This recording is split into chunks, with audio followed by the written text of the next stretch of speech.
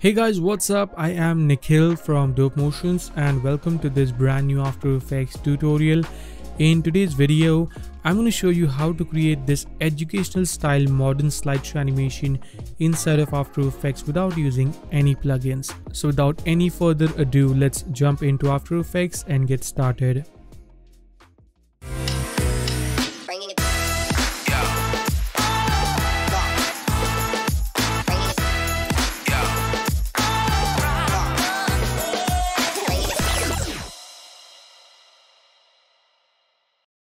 Alright, so here we are in After Effects. Let's start with creating a new composition. Let's make this 1920 by 1080, that is full HD, 30 FPS and 10 seconds long. Let's call this render. Hit OK. Let's create another new composition, which is going to be our image placeholder. So let's call this image and set the width and height to 1500 by 1500 okay and then I can drag and drop in the image that I want to use here and let's bring that down just like so. All right let's go back into our main render comp and start building up our scene. So hit control y to create a new solid. Gonna keep this black as of now and go into effects and presets and add a fill. Gonna give it kind of an off-whitish bluish tone just like so. All right and then select the rectangle tool and let's create a shape like so. Go into rectangle 1 rectangle path 1 and we can unlink this and create the shape manually. So let's set this to around 1500 and I'm going to set the height to 700 so I think that looks pretty nice maybe 730 or something like that. And then change the roundness of the shape to around 80 so that is looking pretty nice. Maybe I'll set this to 100 yeah Alright, so before we move ahead with this video, make sure you have subscribed to the channel as a lot of effort goes behind creating these tutorials from planning to recording to editing. And if you have ever considered becoming a YouTuber, then you should definitely check out DemoCreator, our today's sponsor. DemoCreator is suitable for all content creators, educators, students, and business professionals. There is something for everyone. Create your video presentation in a super easy way it can help you to create and stream more engaging, meaningful and virtual video presentations in just a few clicks.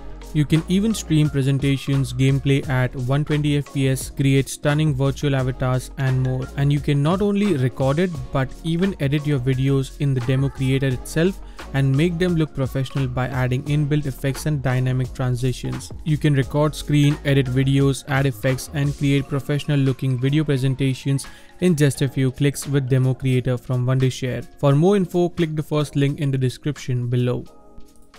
Then hit Control D to duplicate it. Let's move this holding shift like so. And then drag and drop in the image composition that we just created. Scale this down. Something like so maybe. Place it right over here. And that and then what I'm going to do is select the shape layer 2, press Ctrl D to duplicate it. Bring this right here and hit U two times to reveal all the properties and let's adjust the width so I can actually hide the image and let's um, adjust the width like so. Let's increase the height and there we go looking pretty nice. And I'm gonna call this mask. So here we have our image. I can drop this below and change the track matte of this to alpha matte. Now if you don't see this track matte option press F4 on the keyboard and that should make it visible so it's looking pretty nice. Now let's create a new null object and select all the layers except the background and parent this to this null. So I can select the null, press R and rotate it by around six to seven degrees just to give it a really interesting look. And as you can see, our image is getting chopped off here. So I can just make this a bit bigger so it fits in properly. And that is the uh, basic uh, design. So now let's animate the shape. We can delete the null by the way. So what i'm going to do is first of all let's animate the image. So let's go to two seconds and select the mask. Press p to bring down the position create a keyframe and also press r to bring down the rotation and create a keyframe. Select the image hit s to bring down the scale property and create a keyframe. Then i can select both the layers and then hit u so we can just see the keyframes not u two times but one time. Yeah. Then go back and let's scale this image to around 120 should be fine. I know it's a bit too much. Oh my okay 120 not 1200 okay 120 looks fine. Select the mask and let's bring that down like so. And then hit r to rotate it just like that. So we have something like this which looks pretty nice but as you can see the image is getting cropped here so i need to increase the size of this image a bit more like around 130 and let's see. Still so what i'm going to do is move this keyframe a few frame forward in time so around 2 second and 10 frames should be fine. A bit more so around 2 second 15 frames. Yep that is absolutely perfect then I'm going to hit U so we can see all the keyframes. Select the keyframes. You can hit F9 or right click. Keyframe Assistant Easy Ease. Go into the graph, right click and select Edit Speed Graph. Select all the points and drag this to the left holding Shift. So now when I preview this, we have a really nice and smooth looking animation. So yeah, pretty nice. Now let's animate the remaining two shapes. So let's select these two shapes, press P to bring down the position, create a keyframe, press R to bring down the rotation, create a keyframe, hit U so we can see all the keyframes, go at the very start and I'm going to pull this. And to make sure to select one at a time. And um, pull this one out. And then uh, rotate it like so. And then I'm going to pull this one out and rotate it like this. So now we have something like this. Pretty nice. We can select all the keyframes. Go into the graph editor. Make sure you press F9 and then again select the graph and tweak this just like so. So now we have a very nice looking animation. Pretty cool one more thing I can do just to add a little bit of uh, interesting look to this complete composition is select this shape, press Ctrl D to duplicate it, call this line and put it on the top. And then let's hit R to bring down the rotation, go right here and rotate it or offset it just like a little bit and set the fill to none. And let's add a stroke something like of around uh, 5 should be good and make sure to pick the same color so it adds a really nice and interesting look. And we can also adjust the position if you want to but i think this is looking fine. It's completely optional but i think it looks pretty good. Maybe i'll offset it a little bit. So we get a really nice look. Yeah that is looking great. Now let's go ahead and add our text. So let's select the text tool and i'm going to type in modern slideshow now for the font, I'll go and select a very interesting font called Zilla Slab. Select the regular version, bring down the size first of all. Select the second text and then I can select a bold version just to add a little bit of contrast to the typography. All right, and then I can actually just adjust this a little bit. And then let's go ahead and animate this.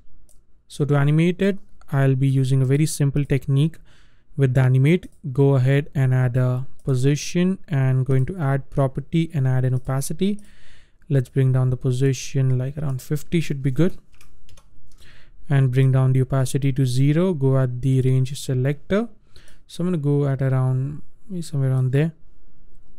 Set the offset all the way up to 100. Create a keyframe. Go back and set this to minus 100 go into advanced property and set this from character to words i believe. Yep. And then change the shape to ramp up. Set the ease high to around 30 and ease low to all the way up to 100 so i think it should be smoother. Yeah. Now if you want you can add some more text. Like if i want i can just simply duplicate this and add a tagline. So let's call this something like elegant design. I'm gonna make this bold and bring down the size. I'll also change the color to something like a nice gray. And let's place this a bit forward in time. So there we go. Looking pretty nice I think. And for the background I will be using text as a background element so for that simply select the text tool and type in whatever text that you want to type. I'm going to type in modern because this is a modern style slideshow. And uh, basically it looks more like an educational style slideshow. So let's bring this up. And for the color I'll go with a complete white and make sure you place this in the background. And for the font I'll be I will be using Bebas Pro Bold and increase the size like so make sure you turn them into full caps. So there we go. And again I'm going to increase the size like that. Let's align this into the center. And for the font let's go with a book font instead of bold and let's bring them closer like so. So that way it looks pretty nice. Maybe book is a bit too thin let's go with regular. Yeah. And then let's animate the background. So to animate this i will be using a very simple technique of movement. So select the text press p to bring down the position create a keyframe and go all the way up to 10 seconds and move them just like so. So we have a continuous movement in the background which looks pretty damn cool i think and let's animate the opacity of the text. So hit t to bring down the opacity. Create a keyframe. Go back and set this to zero. So now we have something like this. Maybe i'll increase the duration a bit. And boom. There we have our modern style educational slideshow animation inside of after effects without using any plugins so that is a wrap for today guys i hope you enjoyed this tutorial if you did make sure to like this video subscribe to the channel and comment down below if you want me to make more slideshow related tutorials you can also follow me on Instagram at dope.motions. And if you're feeling generous, please do support us on Patreon and get access to a lot of amazing templates. So with that said, I will see you guys in the next video. Till then, take care and always stay raw, stay creative. Peace out.